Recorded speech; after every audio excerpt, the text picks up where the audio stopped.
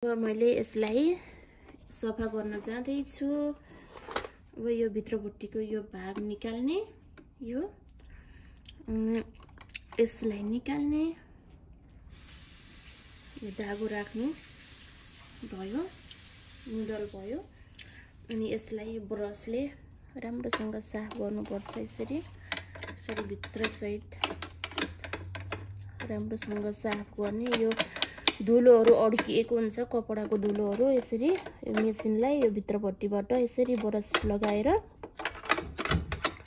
साफ गर्नुपर्ने हुन्छ। धेरै नै भित्र पाए धेरै नै अड्किएको छ भने यो माथिबाट यो यहाँ यहाँबाट खोलेर अनि यो भित्र साफ गर्नुपर्ने हुन्छ।